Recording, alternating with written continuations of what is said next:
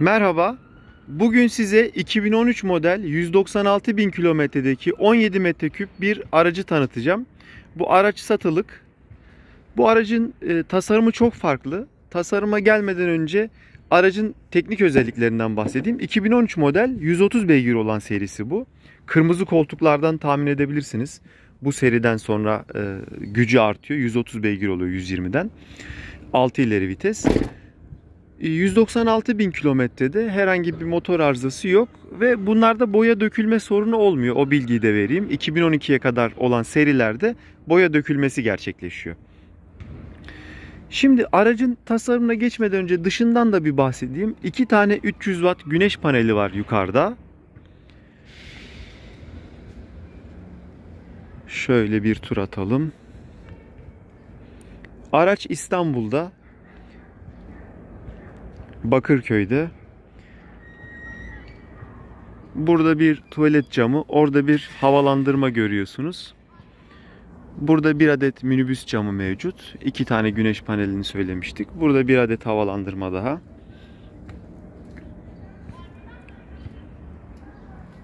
Ve uydu anteni mevcut. Şimdi yavaş yavaş aracın içine doğru geçelim. Burada e, iki tane sürgülü cam var. Bunlar minibüs camı. Şu şekilde. ikisi de açılabiliyor. Basamak içeri girebiliyor manuel bir şekilde. Hemen girişte bizi sağda ayakkabılık karşılıyor. Onun altında Webasto var. Çıkışları çift çıkış. Burada bir teyip var. Burada televizyon var. Televizyon şu şekilde. Buradan çıkartılabiliyor dışarıya. Şu şekilde izlenebiliyor. Kullanılmadığı zaman şu şekilde içeride duruyor. Burada kontrol kısmı var. Sigortalar. Araçta Webasto marka dizel ısıtıcı kullanılmış. Burada Webasto'nun kumandasını görüyorsunuz. 12 voltların kumandaları. Paco şalter. Bir adet aracın teybi dışında da bir teyip var. Müzik dinlemek için. Girdiğiniz zaman hemen girişte bizi banyo karşılıyor. Hemen karşımızda banyo var. Banyonun kapısı biraz eğimli. Bu da koridoru daraltmıyor. Şimdi bu aracı tasarlayan e, Mehmet Bey e, kendisi psikolog ve görme engelli. Görme engelli olmasının burada avantajını görüyorsunuz. Çünkü süper bir ergonomiye sahip. Karavan kesinlikle çok çok ferah. Mehmet Bey'in ihtiyaçlarına göre de tasarlanmış. Mesela işte iç kısım biraz daha içeride. Burada ayağınızı vurmuyorsunuz.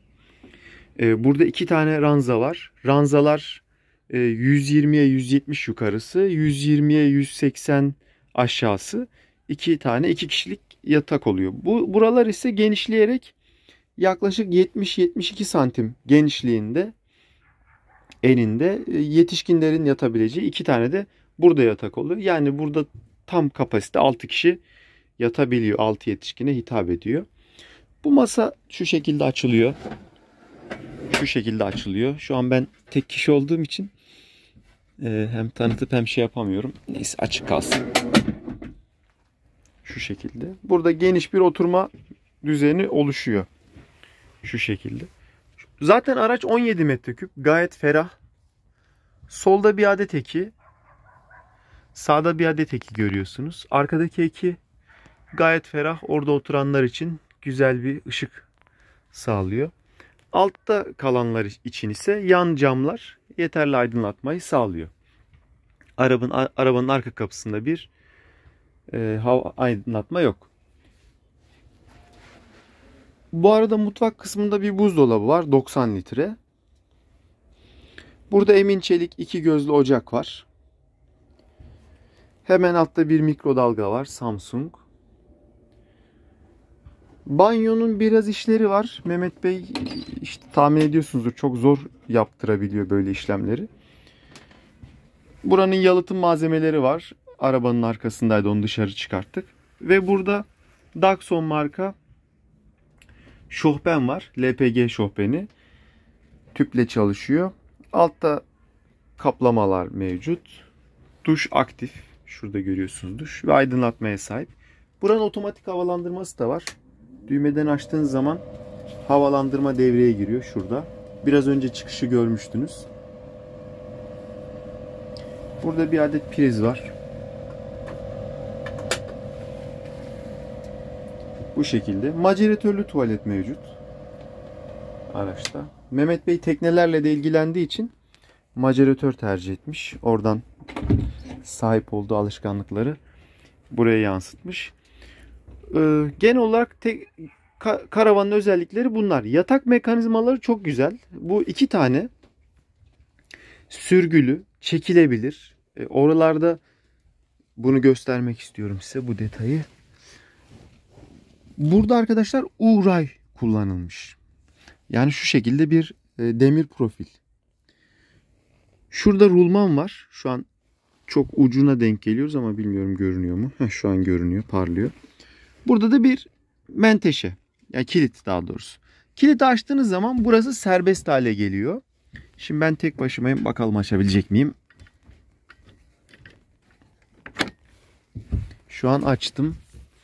Orada bir şey yok. Şöyle bir çeksek. Ya da videoyu bir saniye durdurayım öyle açayım. Acaba şöyle yapabilir miyiz? Açılması zor değil. Benim elimde telefon olduğu için açamadım. Şu an geliyor. Şu an yatak kısmımız açıldı. Minderini yerine oturtuyoruz şu şekilde. Şu an ranza gördüğünüz gibi şu şekilde oluştu. Yukarıda da priz var. Aşağıda da bir adet priz var. Bu sistemi detaylı anlatmaya çalıştım. Çünkü yapmak isteyenler bunu kullanabilir. Şimdi toplarken de orada bir tane ip var. O ipi çektiğiniz zaman yukarısı e, o ikinci parça yukarı doğru kalkıyor. Siz bunu itelemeye devam ediyorsunuz. Belli bir noktaya geldiği zaman da gene kilidi takıyorsunuz. Bu şekilde kapanmış oluyor. Yukarıda saklama gözleri de var. Şöyle bir tanesini açayım. Yani işçilikte ufak tefek şeyler var. Çünkü kendileri yaptılar kızıyla birlikte, damadıyla birlikte. Ama güzel fena değil bu karavan. Aşağı iletişim bilgilerini paylaşacağım. Karavanı almak isteyenler, detaylı incelemek isteyenler Mehmet Bey'in eşi Nezahat Hanım'a ulaşabilir. Bagajı da göstereyim son olarak. Araçta bu arada 200 e, litre temiz su deposu var. Yatak kısmının altında. 100 litre pis su deposu var aşağıda. E, tüp arkada. Onun haricinde eklemediğim bir şey var mı diye bakıyorum. Yukarılar biri e, güzel verniklenmiş. Başka unuttuğum bir şey yok. Şöyle bagaja doğru geçelim. Bagajda bir dış duş mevcut. Hemen burada. Şu şekilde. Şu an hidrofor aktif olmadığı için çalışmadı. E, Mehmet Bey yataklarda şöyle bir e, örgü sistemi kullanmış. Örgü sistemi baya yumuşatıyor. Rahat yatmayı sağlıyor. E, daha sonra şu demirlerle de tabi üzerine demir çekerek de onun sabitlenmesi sağlanıyor.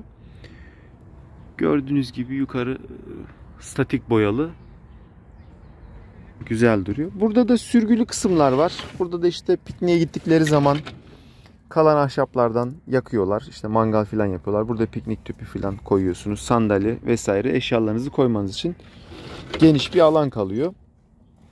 Tüp kısmı şurada. Biraz normalde bugün çekim yapıp yapmama konusunda kararsız kaldık. Ama başka zaman olmadığı için bugün aldık. Şurada görüyorsunuz temiz su deposunu. Gayet geniş.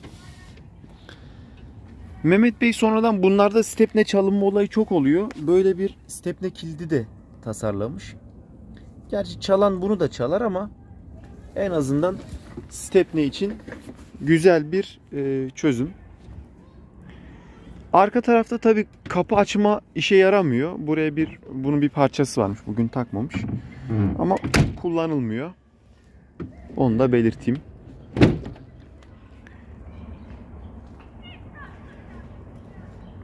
Araç bu şekilde. Dediğim gibi İstanbul Ataköy'de Bakırköy. Ee, burada görmek isteyenler olursa iletişim bilgilerini paylaşıyorum.